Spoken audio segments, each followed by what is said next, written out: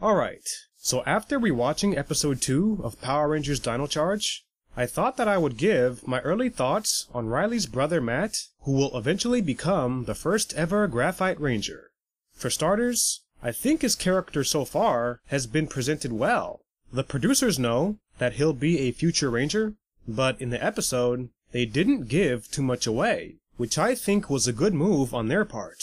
Say less to more now, then after his character eventually finds his Energem, that's when they can start developing his character more. But as of right now, he has been revealed as an 18 year old cowboy who grew up on a ranch and is an old school thinker. Not bad. The current Rangers we have right now are awesome, and I have a feeling that once Matt joins the team, he will be just as good. So there you have it. Those are my early thoughts and prediction on the character of Matt, who will soon become the Graphite Ranger. So until next time, this is John from Mr. Weenie Productions signing out.